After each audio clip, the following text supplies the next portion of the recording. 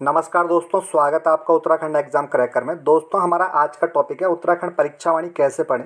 काफ़ी अभ्यर्थियों की क्वेरीज आ रही है कि सर, हमने परीक्षावाणी की बुक ले ली है, काफ़ी नए स्टूडेंट तैयारी कर रहे हैं और उत्तराखंड में बम्पर वैकेंसी आ रखी है।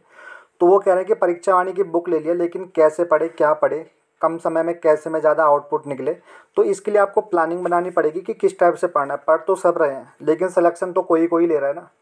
तो वही है आपको किस तरीके से पढ़नी है, कम टाइम में ज़्यादा से ज़्यादा आप कैसे कवर कर सकते हो, वही एग्ज़ाम में आपका मायने रखता है। क्योंकि बुक तो सबके पास है और धीरे धीरे हर कोई ना कोई पढ़ रहा है। तो आपको क्या करना है प्लानिंग बना के पढ़ना और कम समय में आपको ज़्यादा से ज़्यादा कंप्लीट करनी है। तो इसके लिए आपने बुक ले ली होगी और जो नए अभ्यर्थी हैं और जो तैयारी कर रहे हो तो परीक्षावाणी की बुक ले सकते हैं। परीक्षावाणी की बुक ये है, ठीक है? तो आप ले सकते हो एडिशन चेंज होकर शायद इसका कवर चेंज हो गया हो तो आप देख लेना परीक्षावाणी की बुक तो सबसे पहले बात करते हैं कि आपको किस टाइप से पढ़नी है परीक्षावाणी तो देखिए दोस्तों, इसमें क्या है परीक्षावाणी में? एक से लेके तेईस तक टॉपिक हैं। एक से लेके कितने टॉपिक हैं?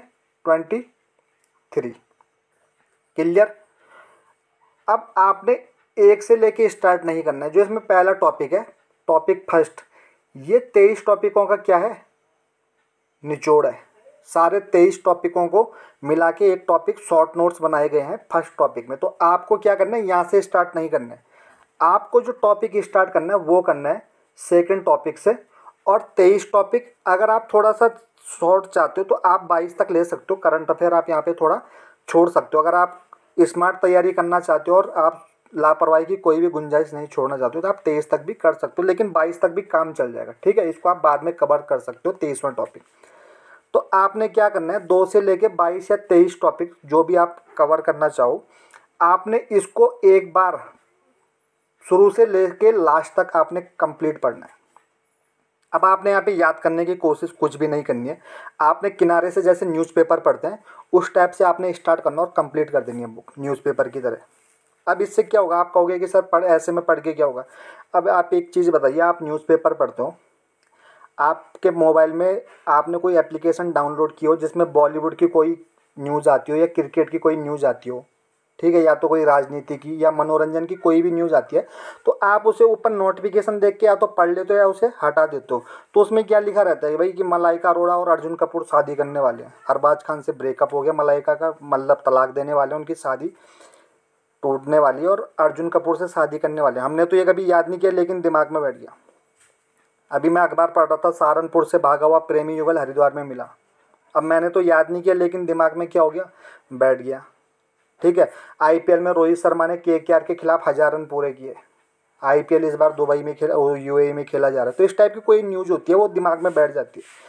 तो आपने अगर दूसरे टॉपिक से और तेईस टॉपिक तक अगर शुरू से ला लास्ट तक पढ़ लिया तो इससे आपके दिमाग में एक चीज़ हो जाएगी, आपके दिमाग में दस परसेंट से लेके मतलब जो स्टूडेंट सबका दिमाग तो सेम नहीं होता है तो किसी के दिमाग में दस परसेंट जी के फिट हो जाएगा तो किसी के बीस तो किसी के पच्चीस या तीस परसेंट जी के दिमाग में क्लिक कर जाएगा।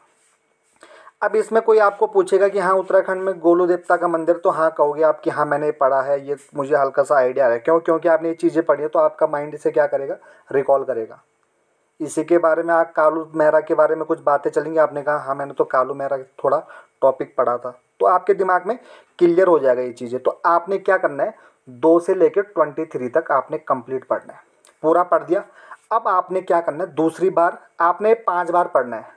दो से लेके ट्वेंटी थ्री तक आपने पाँच बार कंप्लीट पढ़ना ही है, शुरू से लेकर लास्ट तक। अब आपने किस टाइप से पढ़ना है मैं आपको बताता हूँ। आपने पहली बार में क्या करना है, फ़र्स्ट टाइम में शुरू से लेके लास्ट तक पूरी किताब पढ़नी है। दूसरे टॉपिक से, पहले से नहीं, दूसरे से तेईस तक न्यूज़पेपर की तरह। अब एक दिन में आप नहीं पढ़ पाओगे तो आपने क्या करना है, जैसे आपने तीस पन्ने पढ़ लिए तो अगली बार आप इकतीस से लेकर पचास तक पढ़ लो या पचास इक्यावन से लेकर सौ तक पढ़ लो, इस टाइप से आप कंप्लीट करना है इसे।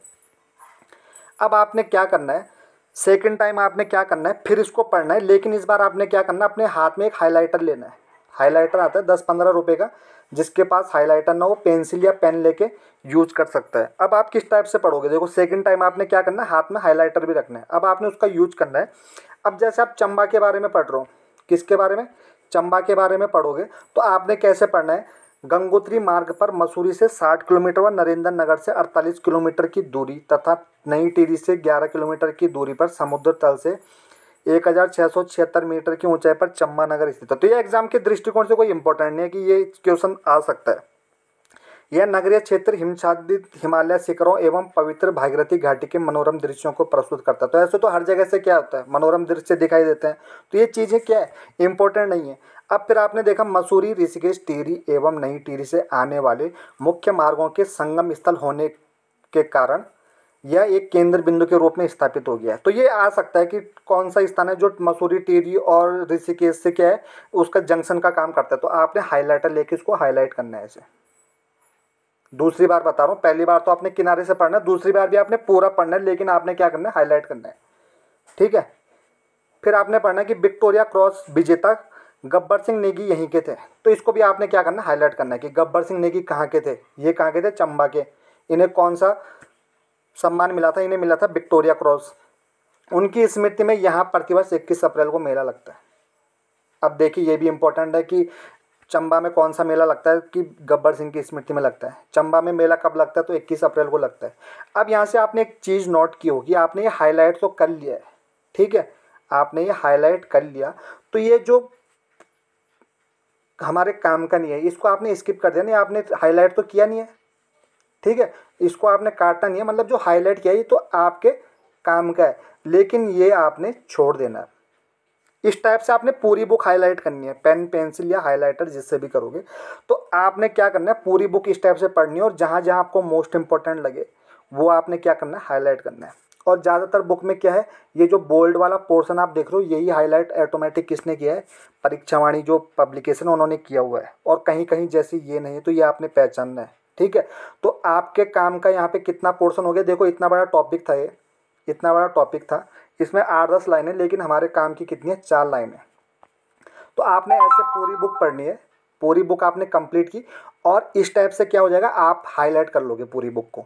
अब आपने बुक को दो बार पढ़ लिया, अब आपने तीसरी बार बुक को पढ़ना है। अब आपने बुक को कौन सी बार पढ़ना है? तीसरी बार पढ़ना है। तो इससे क्या फ़ायदा होगा? तीसरी बार आप क्या पढ़ोगे? केवल आपने ये पढ़ना है जो आपने हाईलाइट किया था। ये चीज़ें नहीं पढ़नी है गंगोत्री मार्ग पर। बस इसे पढ़ते जाओ। इसे पढ़ते जाओ। फिर आपने चौथी बार फिर पढ़ना कि कहीं कोई छूट ना गया हो जो हाईलाइट करना था। आपने चार बार भी फिर ऐसे ही पढ़ना केवल ये पढ़ना जो आपने हाईलाइट किया है। और पांचवी बार भी आपको टाइम नहीं लगेगा हाईलाइट वाला पोर्शन तुरंत आपकी नज़र वहाँ पे जाएगी और आपने पाँच बार इसको पढ़ सकते हो आप। चार या पाँच बार आप इसे इस टाइप से पढ़ना है। पहली बार आपने पूरा पढ़ा, दूसरी बार आपने क्या किया? हाईलाइटर लेके हाईलाइट किया और तीसरी, चौथी, पाँचवीं बार आपने केवल वो पढ़ा जो हाईलाइट किया था। ठीक है? ये आपका हो गया। तीन चार बार आपने इसका कंप्लीट रिवीजन कर लिया। अब इसके बाद आपने देखो क्या करोगे आप।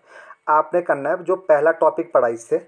अब आपने हाईलाइट हाईलाइट पढ़ना है, फालतू की चीज़ें नहीं पढ़नी अब आपने इसमें पहला टॉपिक पढ़ा, आपने कंप्लीट किया, पीछे इसके क्वेश्चन आंसर है, वो लगाए। फिर इसके बाद जो पहला टॉपिक है, संक्षिप्त अवलोकन, ठीक है?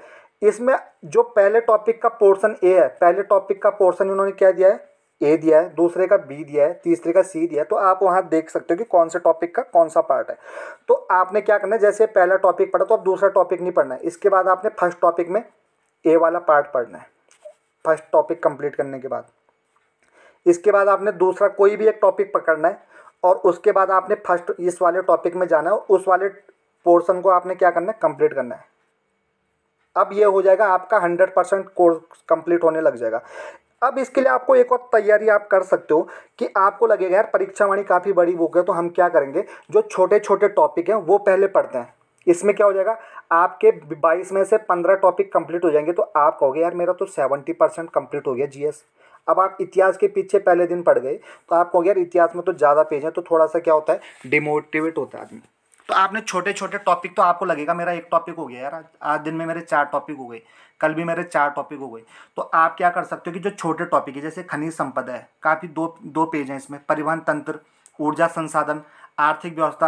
अब आपने खनिज संपदा पढ़ा तो इसमें जो फ़र्स्ट वाला पार्ट है, संक्षिप्त अवलोकन, इसमें खनिज वाला टॉपिक पढ़ा, ये हो गया आपका फिनिश इसके बाद आपने परिवहन पढ़ा, इसको फ़र्स्ट टॉपिक में ढूंढा इसको भी कंप्लीट किया। तो छोटे छोटे आपके एक दिन में तो छः छः या दस टॉपिक कंप्लीट हो गए आराम से अगर आपने पाँच बार किताब का रिवीजन किया है, इसके बाद आपने आर्थिक व्यवस्था, ऊर्जा संसाधन, उद्योग हो गया, कल्याणकारी, प्रमुख व्यक्तित्व तो बड़ा है, संसाधन एवं संग्रहालय तो ये काफ़ी छोटे टॉपिक हैं। तो आपके दस टॉपिक तो आपके दो ही दिन में कंप्लीट हो जाएगा। पाँच पाँच टॉपिक आप कंप्लीट कर सकते हो। इसके बाद आपने क्या करना है? राजनीतिक, प्रशासनिक ढांचा जैसे ले लिया तो इसका ए पार्ट कर लिया। इस टाइप से आपने क्या करना है? एक टॉपिक पकड़ना है, पूरा पार्ट और फ़र्स्ट वाले से उसका पार्ट आपने वहाँ से रिवीजन करना है। इसी का आपको सेवेंटी परसेंट मैटर वहीं मिल जाएगा।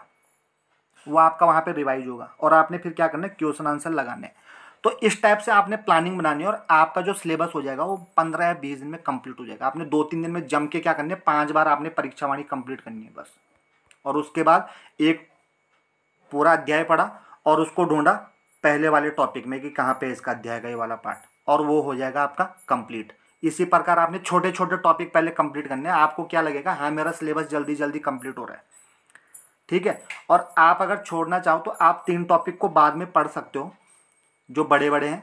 तो आपका क्या हो जाएगा? तेईस में से आपके अट्ठारह, सत्रह या अट्ठारह टॉपिक आपके आसानी से पाँच दिन में ही कवर हो जाएँगे। तो आपका लगेगा हाँ यार, मैं जल्दी जल्दी काफ़ी ग्रोथ कर रहा हूँ। अब आप एक बड़ा टॉपिक ले लिया, उसी में महीने लगा दिए। ठीक है?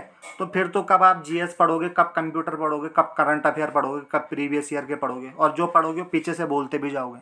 तो ऐसे में तो मुद्दतें हो जाएँगी, ठीक है? आपने क्या करना है मोस्ट इंपॉर्टेंट टॉपिक आपने जिस टाइप से मैं बता रहा हूँ, और इस टाइम देखो, सितंबर गया, अक्टूबर, नवंबर और दिसंबर, जनवरी, फरवरी छः महीने के अंदर पेपर होने वाले हैं बम्पर चुनाव से पहले। तो आपको इसलिए तैयारी करनी पड़ेगी, क्योंकि अगर आपका सिलेबस हो रहा है कंप्लीट और उसके बाद एग्ज़ाम होने बंद हो गए, चुनाव हो गए तो फिर जो ये एग्ज़ाम हो रहे हैं, इसकी गति धीमी हो जाएगी। आयोग क्या पड़ जाएगा? सुस्त पड़ जाएगा। तो आपको क्या करना है? अभी जान लगा दो तीन महीने। तीन महीने का प्लान ले लो और जान लगा दो। आराम से आपका सिलेक्शन हो जाएगा। इस तरीके से आपने अगर पढ़ाई की। अगर आपको वीडियो अच्छा लगे तो दोस्तों के साथ शेयर ज़रूर करें।